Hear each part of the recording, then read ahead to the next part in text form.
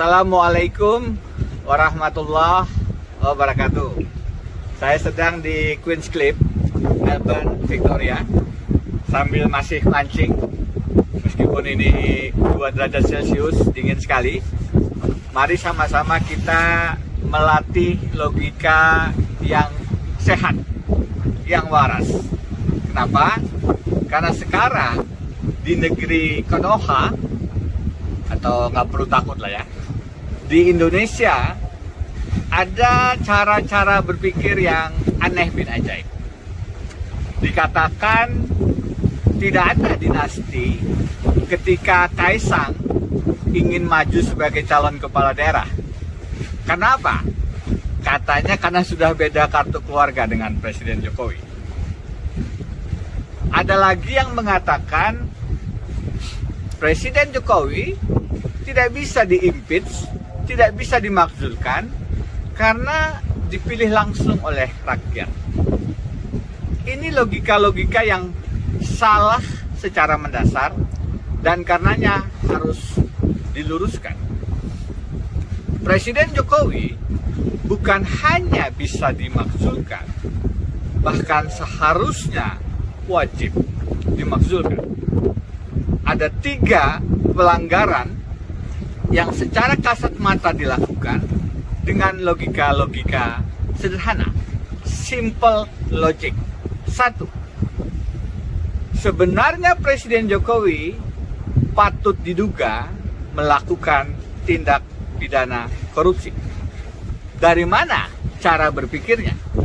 Lihat laporan Ubedillah Badrun 10 Januari 2022 lebih dari satu tahun yang lalu dan belum ada perkembangan progresnya di KPK dalam laporan itu dijelaskan ada penyuntikan modal dari satu perusahaan Ventura di luar negeri ke perusahaan anak-anak presiden.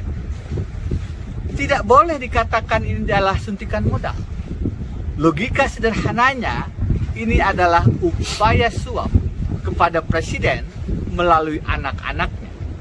Konsepnya adalah trading in influence. Memperdagangkan pengaruh. Di dalam United Nations Convention Against Corruption, Konvensi PBB anti korupsi, perdagangan pengaruh ini sudah dinyatakan secara tegas dan jelas anak-anak Jokowi tidaklah mungkin mendapatkan suntikan modal hingga ratusan miliar jika mereka bukan anak presiden. Karena itu, ini simple logiknya bukan suntikan modal, ini adalah suap, ini adalah korupsi, dan karenanya KPK mestinya mengusut ini secara tuntas jika terbukti menjadi pintu masuk pemakzulan presiden. Yang kedua, Presiden Jokowi melakukan pelanggaran pasal 21 Undang-Undang Tindak Pidana Korupsi. Apa itu? Obstruction of Justice. Menghalang-halangi penegakan hukum pemberantasan korupsi. Dalam kasus apa? Dalam kasus ada elit yang seharusnya diproses tapi tidak karena ada dalam barisan koalisi. Seorang anggota kabinet didatangi para pimpinan KPK dan dijelaskan ada empat perkara, bukan hanya satu, yang menjerat seorang elit politik dan karenanya meminta izin kepada presiden untuk diproses.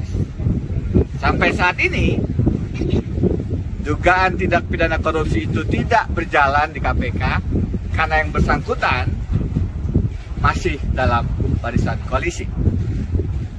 Yang ketiga, sudah sering saya jelaskan, ada kasus pembegalan Partai Demokrat, Muldoko Gate. Lebih parah dari Watergate di Amerika Serikat, yang menyebabkan Presiden Richard Nixon akhirnya mundur untuk menghindari pemecatan karena berusaha menyadap kantor Demokrat di masa kampanye pemilihan presiden tahun 1972. Pembegalan Partai Demokrat dikatakan adalah hak politik, Muldoko. Ini logika yang sangat keliru. Pembegalan atau dalam bahasa Romi adalah pencopetan partai adalah kejahatan, bukan hak politik. Dalam konteks hak asasi manusia, ini adalah pelanggaran atas hak berserikat, hak berorganisasi, hak berpartai politik.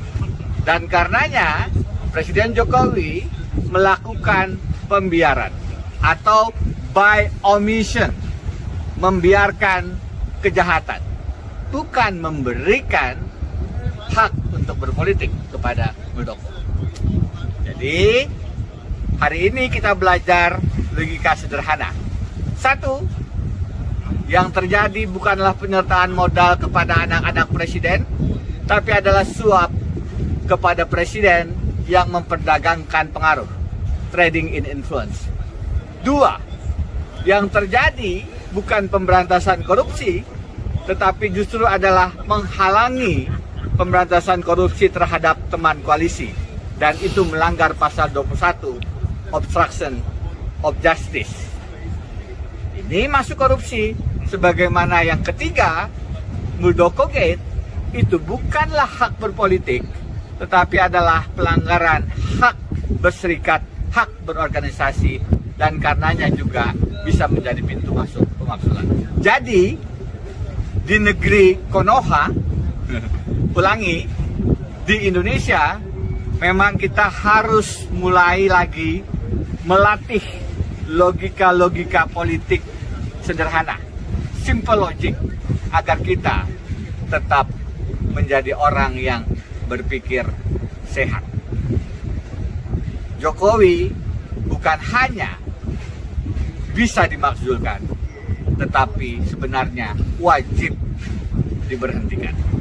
DPR bukannya tidak mampu, unable, tapi sebenarnya DPR tidak mau, unwilling untuk mulai proses pendakwaan, proses menyatakan pendapat, proses hak angket menyelidiki dugaan-dugaan pelanggaran pasal-pasal impeachment di konstitusi Indonesia.